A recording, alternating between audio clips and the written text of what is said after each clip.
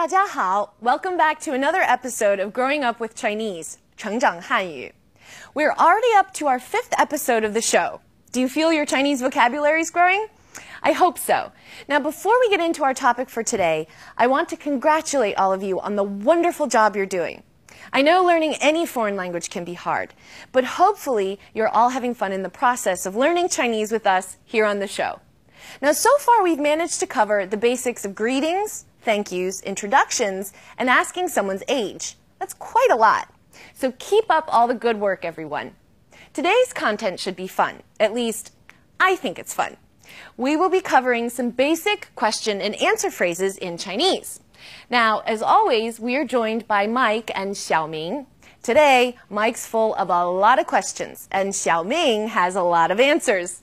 Let's go check out what the two of them are up to.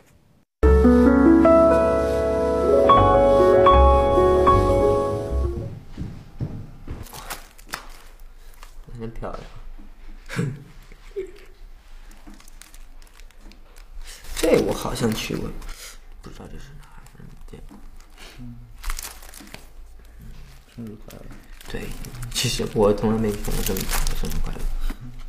没有人喜欢你。麦克，你看，这是我的好朋友。他是你的同学吗？是啊，他叫什么名字？他叫兰兰。兰兰，他多大了？也是十六岁吗？不是，他十五岁。这是什么？这是他的狗。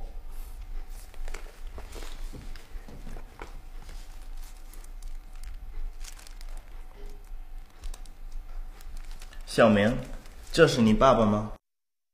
不是，那是我叔叔，是我爸爸的弟弟。哦，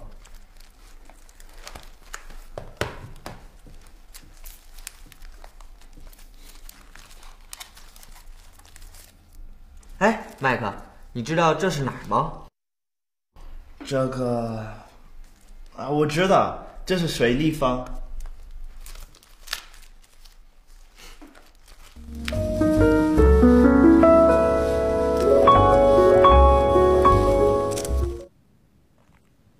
Ah, looking through photo albums is always fun, isn't it? Especially when you've never seen any of the pictures before. So, how much of that were all of you able to follow? Quite a bit, is my guess.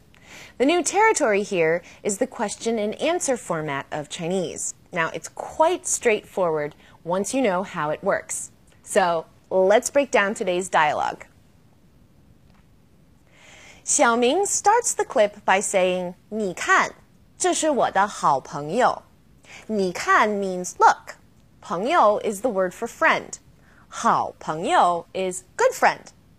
Mike follows by asking Xiaoming if they are classmates. 他是你的同学吗?同学 means classmate. 他是你的同学吗? Is she your classmate? 麦克，你看，这是我的好朋友。他是你的同学吗？是啊，他叫什么名字？他叫兰兰。兰兰，他多大了？也是十六岁吗？不是，他十五岁。 这是什么? What is this? 这 means this. 是 means is. 什么? Remember this? It means what? 这是什么? You can remember the reply by remembering the question. 这是什么?这是 whatever it is. 那是什么? What is that? 那 means that. 那是他的狗. That's his dog. 他 means his. 狗 means dog. 他的狗 his dog. 那是什么?那是他的狗.这是什么？这是他的狗。 All right, we have more to add to our family vocabulary. Shushu means uncle. Mike mistakes Xiaoming's uncle for his father.